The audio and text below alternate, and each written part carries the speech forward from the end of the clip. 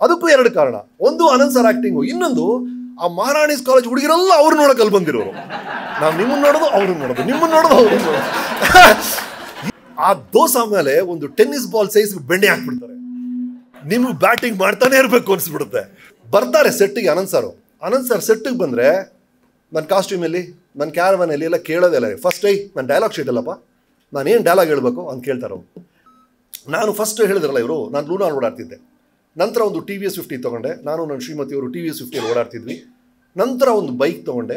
ಆಮೇಲೆ premier Padmini car, ಆಮೇಲೆ Skoda car, ಆಮೇಲೆ ಈಗಿರುವ ಕಾರು ವಾಟ್ ಎವರ್ ಬಟ್ ಇದನ್ನು ಮಾಡೋಕ್ಕೆ ನನಗೆ ಮೂವತ್ತು ವರ್ಷ ಬೇಕಾಗಿತ್ತು.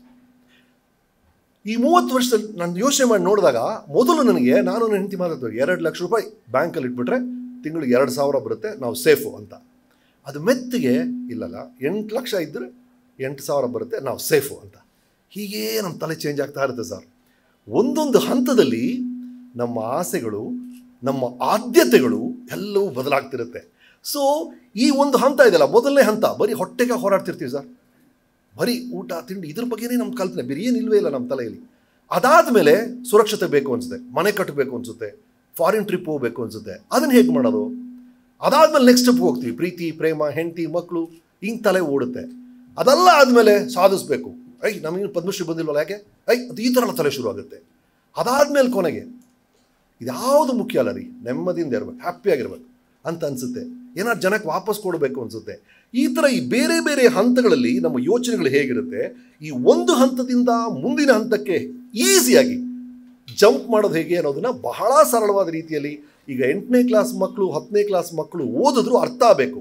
ಆ ರೀತಿಯಲ್ಲಿ ಬರೆಯೋಕ್ಕೆ ಟ್ರೈ ಮಾಡಿದ್ದೀನಿ ಅದನ್ನು ಈಸಿಯಾಗಿರಬೇಕು ಅನ್ನೋಕ್ಕೋಸ್ಕರ ಆ್ಯಸ್ ಅವರ್ ಕಾಂಪೇರ್ ಸೆಟ್ ಅಲ್ಲಿ ಫಿಗರ್ಸ್ ಎಲ್ಲ ಡ್ರಾಯಿಂಗ್ಸ್ ಎಲ್ಲ ಹಾಕಿದ್ದೀವಿ ಆ ಕೊನೆಯಲ್ಲಿ, ಆ ಎಲ್ಲ ಪಾಯಿಂಟ್ಸ್ನ ಒಂದು ಸಮ್ಮರಿಯಾಗಿ ಮಾಡಿ, ಅದಕ್ಕೆ ಮರುನೋಟ ಅಂತ ಹೆಸರಿಟ್ಟು, ಅದರಲ್ಲ ಇಡೀ ಚಾಪ್ಟರ್ನ ಸಾರಾಂಶವನ್ನು ಹೇಳಿ, ಆ ಎಲ್ಲ ಕತೆಗಳು ಏನೇನು ಸಿಂಬಲ್ಸ್ ಬರೆದಿದ್ದು ಅದೆಲ್ಲ ಸೇರಿ ಒಂದು ಮಂಡಲ ಡ್ರಾಯಿಂಗ್ ಆಗಿ ನಿಮಗೆ ಕಾಣುತ್ತೆ.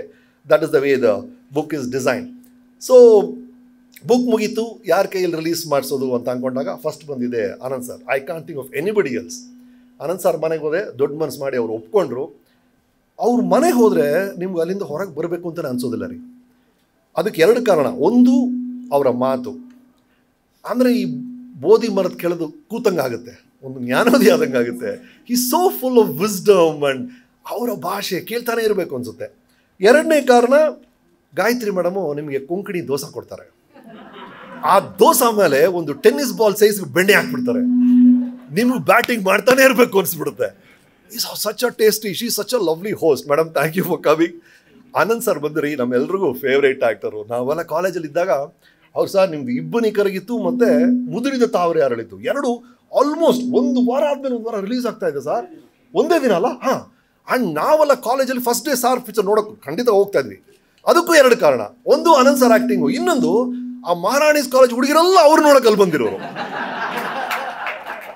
ಹೇ ಸರ್ ಏನಂದ್ರೆ ಕ್ರೇಜು ಹೆಣ್ಮಕ್ಳದು ಅಂದ್ರೆ, ಆ sir the whole of Maharani college used to be in Santosh theatre sir, ಆ ಎರಡು ಫಿಲ್ಮ್ಗೆ ನಾವು ನಿಮ್ಮನ್ನ ನೋಡೋದು ಅವ್ರನ್ನ ನೋಡೋದು ನಿಮ್ಮನ್ನ ನೋಡೋದು ಅವ್ರನ್ನ ಈ ಥರ ಇರೋ such a what an artist ಒಂದು ಕಡೆ ಅವರ ಎಕ್ಸ್ಟ್ರಾರ್ಡನರಿ ಆ್ಯಕ್ಟಿಂಗ್ ಕೆಪಾಸಿಟಿ ಇನ್ನೊಂದು ಕಡೆ ಅವರ ಆಳವಾದ ಮಾತುಗಳು, ಅವರ ಉಚ್ಚಾರಣೆ, ಅವರ ಕಣ್ಣುಗಳು, ಅವರ ಹೋಲ್ ವ್ಯಕ್ತಿತ್ವದ ನಾನು ದೊಡ್ಡ ಫ್ಯಾನ್ ನಾನು. ಐ ಆಮ್ ಸೋ ಹ್ಯಾಪಿ ಇವತ್ತು ನೀವು ನನ್ನ ಬುಕ್ಕನ್ನು ರಿಲೀಸ್ ಮಾಡೋದು thank you for the kind words sir I am really so happy ಬರ್ತಾರೆ ಸೆಟ್ಟಿಗೆ ಅನಂತ್ ಸರ್ ಅನಂತ್ ಸರ್ ಸೆಟ್ಟಿಗೆ ಬಂದರೆ ನನ್ನ ಕಾಸ್ಟ್ಯೂಮಲ್ಲಿ ನನ್ನ ಕ್ಯಾರವನಲ್ಲಿ ಎಲ್ಲ ಕೇಳೋದಿಲ್ಲ ಫಸ್ಟ್ ಐ ನನ್ನ ಡೈಲಾಗ್ ಶೀಟ್ ಅಲ್ಲಪ್ಪ. ನಾನು ಏನು ಡೈಲಾಗ್ ಹೇಳಬೇಕು ಅಂತ ಕೇಳ್ತಾರೆ ಅವರು. ಅವ್ರ ಗಮನ ಎಲ್ಲ ಬರೀ ಅವ್ರ ಪರ್ಫಾರ್ಮೆನ್ಸು ಅವರ ಡೈಲಾಗು ಅದಕ್ಕೆ ಅವರು ಕೋಪ ಬರೋದ ಡೈಲಾಗ್ ಶೀಟ್ ರೆಡಿ ಇಲ್ಲದಿದ್ದಾಗ because he knows is core thing is acting ಅದನ್ನು ಎಷ್ಟು ಸಲ ಹೇಳಿ ಹೇಳಿ ನೋಡ್ತಾರೆ ಅಂದರೆ ಈ ಪದಕ್ಕೆ ಒತ್ತು, ಒತ್ತಡ ಕೊಡಬೇಕಾ? ಇದಕ್ಕಾ ಅಂತ ಟ್ರೈ ಮಾಡ್ತಾನೆ ಇರ್ತಾರೆ. ನಂಗೆ ನೋಡೋಕೆ ಖುಷಿ ಆಗುತ್ತೆ. ಒಬ್ಬ senior actor of his calibre he rehearses so much in his mind and prepares for every shot ಅದನ್ನು ನಾನು ಎಲ್ಲ ಯಂಗ್ಸ್ಟರ್ಸ್ ಹೇಳ್ತಾ ಇರ್ತೀನಿ. Please follow Ananth sir in that ನನ್ನ ವೀಕೆಂಡ್ ವಿತ್ ರಮೇಶ್ ಚೇರ್ ಬಗ್ಗೆ ಅವ್ರು ಹೇಳಿದ್ರಲ್ಲ, ಅವತ್ತು ಅವ್ರು ಹೇಳಿದ್ರು I do all this because ಆ ಎಕ್ಸಲೆನ್ಸ್ ನಾನು ಮಾಡೋದ್ರ ಎಲ್ಲದಲ್ಲೂ ಒಂದು ಎಕ್ಸಲೆನ್ಸ್ ನಾನು ಟ್ರೈ ಮಾಡ್ತೀನಿ ಅಂತ. That is the biggest thing thank you sir thanks again